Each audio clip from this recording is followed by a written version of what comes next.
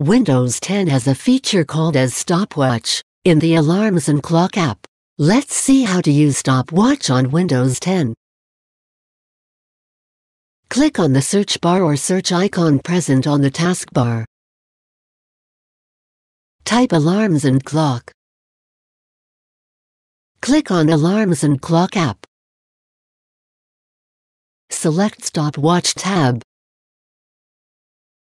Now, you can see stopwatch on your screen. To start the stopwatch, click on the Start button. Now, your stopwatch has started.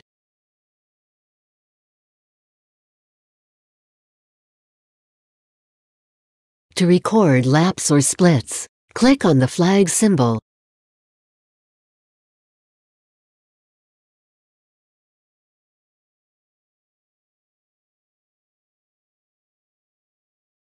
To stop or pause the stopwatch, click on the Pause button.